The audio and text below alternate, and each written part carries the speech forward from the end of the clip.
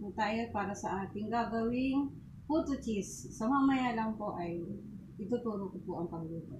Ah, ah, tatlong itlog po ang aking ah, haluin. Haluin natin maigi. Mix lang ng maigi hanggang sa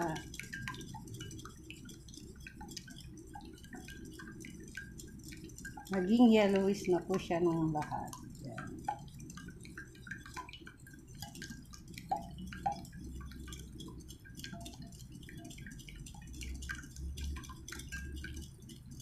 Yan. So, pag nahalo na natin siya, make sure lang po na nahalo na natin. Lagyan na natin po yung. Ayan. Haluin po natin.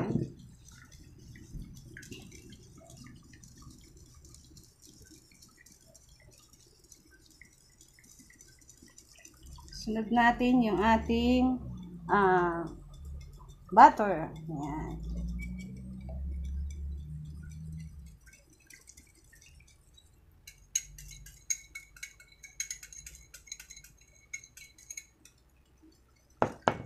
After po ng butter, haluin natin maigi.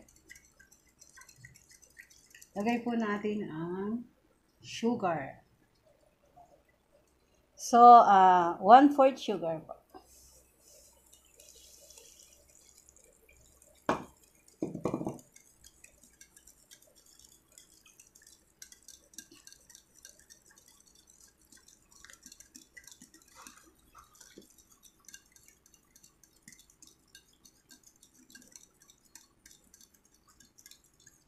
Pag na-mix na po natin siyang maigi, So, set aside po muna natin siya. Sunod natin ang ating all-purpose flour. Maglagay po tayo ng salt. Yan. ah, one half tablespoon. Then, one tablespoon of baking powder. Mix natin.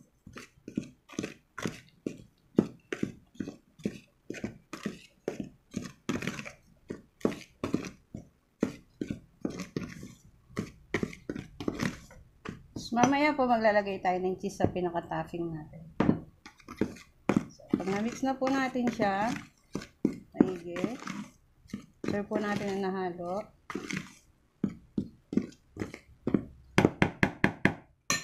Kunin natin po yung kaninang hinalo natin.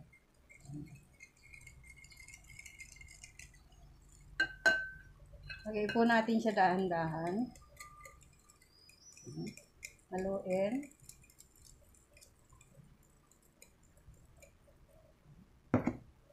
natin.